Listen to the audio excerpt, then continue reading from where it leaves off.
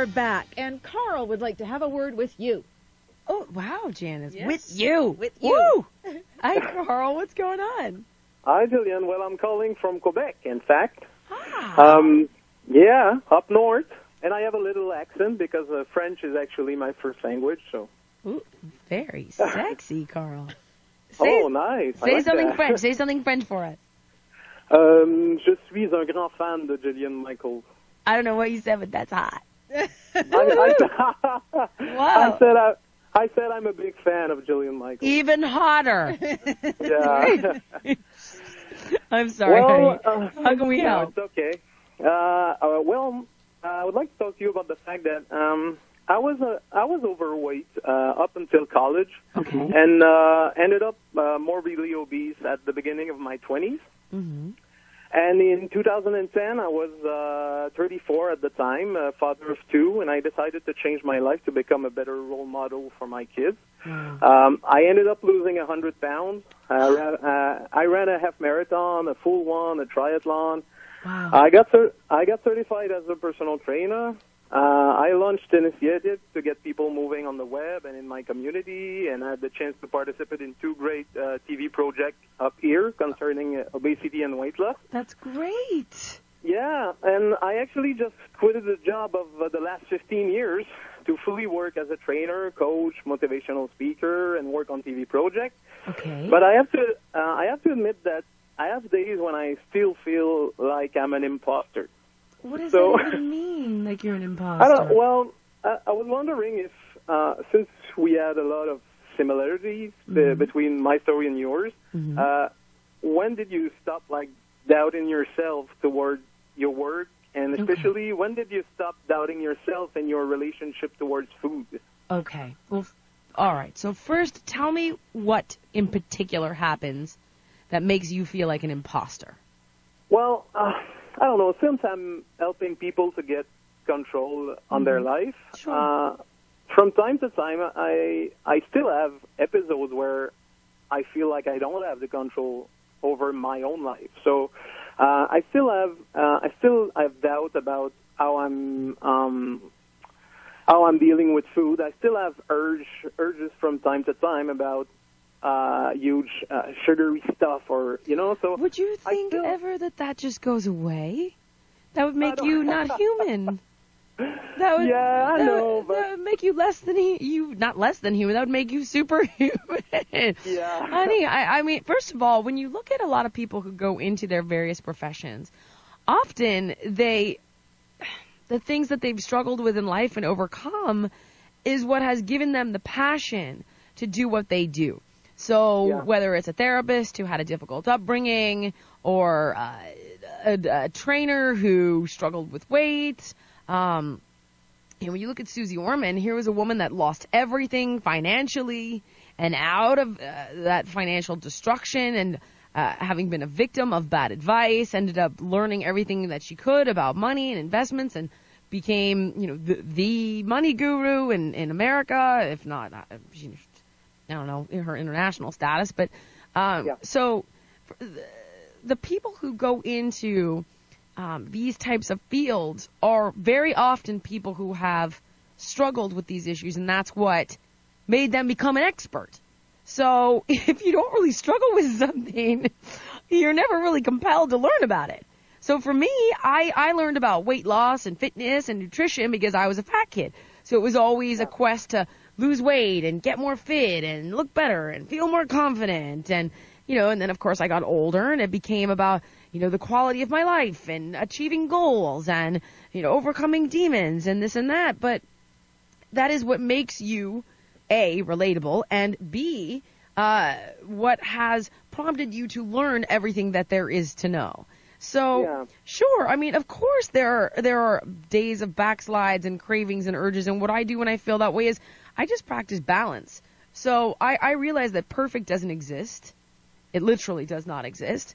And when I want something, I'm like, all right, I'm not going to have an entire pint of ice cream, but I'll allow myself to have um, 300 calories worth.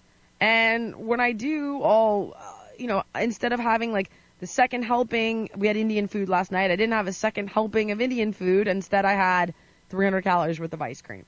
And like, you know, I just work it in there. I find balance for it. So I just think that I just think that it's because actually my weight loss went pretty fast, even though I had decided that I had plenty of time because I wanted to actually learn what was a portion and and just eat well. So seriously, I had given myself like six years, but I actually lost 100 pounds in 10 months. wow, And yeah, that's great. and. I think that you know now I'm I'm helping people, and some of those people have to actually lose the emotional weight before they can actually get rid of the physical weight. yeah, But absolutely. I, I think I think I was one of those uh, lucky guy that just trained hard and ate better, and actually ended up losing a lot of weight pretty easily. I would say. And now I've been working. Easy. I mean, I, I Yeah, would no, say but- that you did the right things and your body cooperated, but eating Yeah. right and working out is never easy. No, but I mean, um, I think it's just because now for the last year and a half, I've been working more on the emotional weight and actually, um, you know, just making the right choice, but emotionally, just not towards just food and training. Yeah. And and I don't, you know, I had like big discussions with my mom, with my dad, stuff yeah, like that, and sure. and I think I'm I'm kind of just uh, I don't know. I, I think I'm a bit overwhelmed overwhelmed these days about uh, just uh, you know even though I'm still thinking about when I'll be 40, I'll be like just perfect. I think I'm just looking for uh, a break or something like that, or it just maybe Sweetie, I there's no just- such thing as perfect. And Yeah, I, I this know. this one um, self-help guru, uh, he goes by the name Ram Dass, even though I can't for the friggin' life of me remember what his actual name was. And he's the, he was like this big guru who worked with Timothy Leary, and he once said, "If you think you're evolved, go home for the weekend. like go home to your parents' house for the weekend." And Yeah. even though I know, like all there is to know about how to overcome, well, not all there is to know, but I know a lot about yeah. uh, understanding myself and working through my issues and tackling my demons. I got a letter from my little sister, and I really thought that I had gotten to a good place where I don't I don't speak to my dad because he's destructive, but Yeah. I thought that I had. I really was like I'm at peace. Like I wish him well. I forgive him. Yeah. You know, I I hope everything goes okay in his life. Like he hasn't become a better human being, so like I can't have him in my life, but I got to this place where I wasn't ruled by my anger. So I get this letter from my little sister the other day, who she's she's 20 years old, and my dad had done something particularly awful to her, and I just it brought me right back to that place, and I, I Yeah. I'm just gonna be truthful of wishing he was dead. And in the letter, she's like, "Why won't he just die already?" And I gotta tell you, I've never said it around my brother or sister because I didn't, you know, they're much younger than me. My brother's 23, my sister's 20, and it's like, but I used to talk about it like with my shrink, with Heidi, and I was like, I just wish he would die because then it's like we could just move on. He's like a wrecking ball, and you know, and I was, and I like to wish your father was dead is kind of like a really horrible, horrible feeling. Like you really feel like you're a horrible, horrible person. Yeah. And I got to this place where I was like, he's just damaged. He's just wounded. Poor little wounded bird. Like, and I, I really thought that I had like evolved out of it. And I got that letter from my sister and right away was like, die, you son of a bitch. Just Yeah. die. so listen to me. My, my point here is not that I'm homicidal, uh, b- which clearly I, I have tendencies, but more to the fact, honey, that it's normal to like to have these moments and to have these feelings and to struggle and the key is to recognize them and get control of them as quickly as possible. I'm not going to show up to my dad's house and shoot him. So to me that's winning. It's like I have those feelings, I feel like Yeah. I've backslided, but I'm like, all right, here's what's going on, you know, here's how I'm going to handle it, here's the most productive way to respond to it, but you have to give yourself permission.